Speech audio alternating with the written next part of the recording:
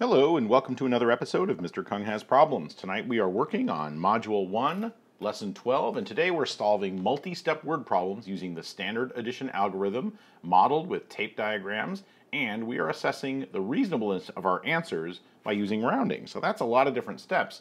Let's take a look at one problem today, which we will do in full um, as a way of sort of showcasing how we can do each of those things, how we can do addition, how we can use the standard algorithm, how we can use tape diagrams, and how we can assess reasonableness. Let's take a look at one problem. Here's problem number two. Problem number two asks us, on Sunday, 77,098 fans attended a New York Jets game. And can we just say here, it's too bad they weren't Packer fans because that would have been a lot more fun. The same day, 3,397 more fans attended a New York Giants game than attended the Jets game. Altogether, how many fans attended the games? So we're going to ask answer uh, 2A, which is what is the what was the actual number of fans who attended the games? And then later, we're going to answer in B, is your answer reasonable? Round each number to the nearest thousand to find an estimate of how many fans attended the games. So we need to do some modeling here first to see if we can figure out exactly what we're looking for. So I went ahead and picked uh, picked up the some Jets colors and some Giants colors so that we could do this in the appropriate colors.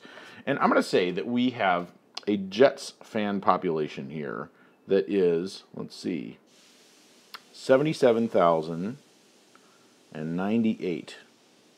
It's a little sloppy, but 77,098 fans. Now, for Giants fans, though, Giants, try to pick colors here for the Giants. The Giants had more fans that attended their game, right? So let's see. Let's see. Reread and see what we've got here.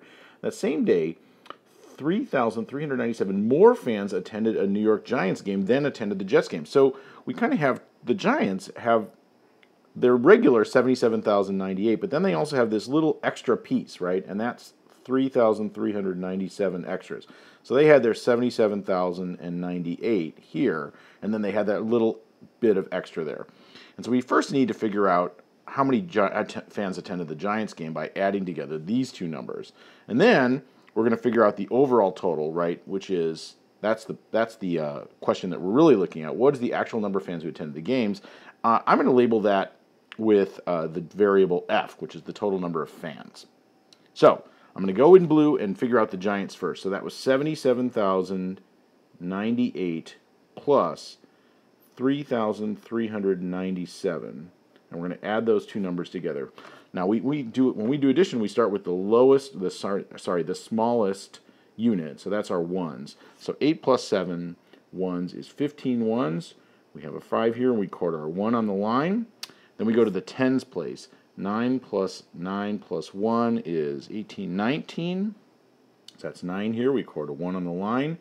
Then we go to the hundreds place. 0 plus 3 plus 1 is 4. Nothing to carry over. We've got 7 plus 3 is 10, so that's 0 here, and we mark the 1 on the line, record the 1 on the line, and finally we move out to the 10 thousands place where we have 7 plus 1, and that's 8. So it looks like we have 80,495 Giants fans. So that's this number. But now we have to add the Jets fans plus the Giants fans to get us our total. So I'm going to go expand this out a little bit so it gives me a little bit of extra room. So we are going to add together 7,798 plus 80,495 Giants fans to give us a total. I'll switch to black here. Again, we're going to start with our smallest unit. So 8 plus 5 is 13. 3, record the 1 on the line. 9 plus 9 plus 1 is 19. Record the 1 on the line. 0 plus 4 plus 1 is 5. 7 plus 0 is 7. 7 plus 8 is 15. We get our comma here. So I think our answer is, I'm going to zoom back out a little bit here. I think our answer is that 1,000, I'm sorry, 157,593 fans attended the games. Awesome. So that was our in, our in action. That was our read, draw, and write strategy. We read the problem, we made our type, type I'm sorry, our tape diagram drawing, and we wrote our answer. Beautiful. But now let's look at the second part. Is your answer reasonable? Round each number to the nearest thousand to figure to find an estimate of how many fans fans attended the game.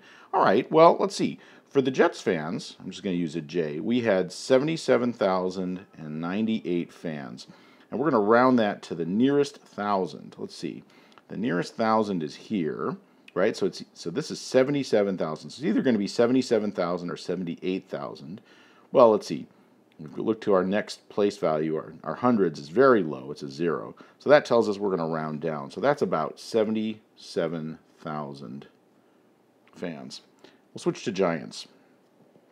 Giants fans, you'll remember, we figured that out. That was 80,000, oops, 80,495. And we're going to round that to the nearest thousand. So we've got 80,000 here. So it's either 80,000 or 81,000. We look to our next unit, our hundreds. That's a 4, so that's on the low side. Looks like we're going to round down.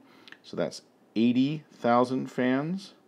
And if we were to add those two together, 77,000 fans plus 80,000 fans would be 0, 0, 0, 7, 5, 1. 157,000 fans. And hey, so our estimate came out to 157,000 fans. Right, I kind of wrote this a little poorly. Oops. Um, 157,000 fans was our estimate. Our actual full answer was 157,593. Ah, I'm totally fine, right? Is, so I would say, we have to write for this, but we have to say, yes, our estimate is very close to our answer. Awesome. So that's every part of this problem. Uh, 2a is about doing a tape diagram of our jets, our giants, assigning it a variable of f, figuring out what the giants' uh, attendance was, and then doing the addition to figure out our overall attendance. That's f. And our part B is figuring out the reasonableness. So we create estimates, we add those estimates together, and we assess, is our estimate close enough to the real thing? And it is. That's great news. So that's problem number two. You're going to see a bunch of other problems here on your homework tonight. I wish you the best of luck with those, and I wish you that I wish you'll return the next time to another episode of Mr. Kung Has Problems. Thanks so much.